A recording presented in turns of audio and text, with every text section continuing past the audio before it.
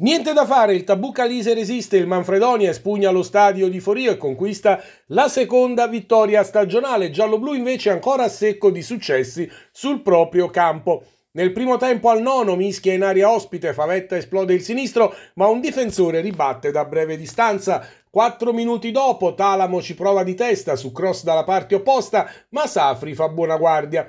Prima occasione per il Manfredonia al minuto 14 quando Coppola di testa da sottomisura impegna Gemito. Occasione Sipontina al minuto 33 traversone di Carbonaro e colpo di testa di Scaringella che non trova lo specchio della porta.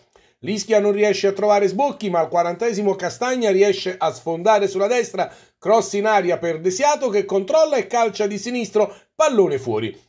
In avvia di ripresa, subito Ischia in avanti, Favetta servito centralmente, gran destro in drop e respinta in tuffo di Sapri. Al terzo, Talamo dalla distanza serve in mezzo per Favetta che tutto solo sfiora il pallone che sfila.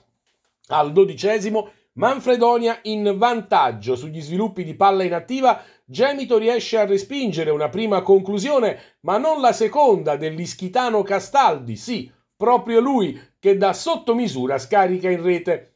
Al ventitresimo Forte si immola su tiro a botta sicura di Trofa, salvando il risultato. Due minuti dopo, svolta del match. Ischia in 10 per l'espulsione del portiere Gemito, uscito dai pali per fermare un contropiede di Porzio. Entra Zandri al posto di Pellino, il calcio piazzato di Giacobbe beffa il neo entrato portiere. Al 32esimo, bravo Sapri sul tiro cross di Florio. I giallo-blu spingono, ma il Manfredonia tiene. Al 44esimo, Castagna pulisce un buon pallone e conclude di poco sul fondo. Nel secondo minuto di recupero, ancora Favetta, servito da Florio, da due passi non riesce a superare il portiere che respinge. Dopo sei di recupero, game over al Calise.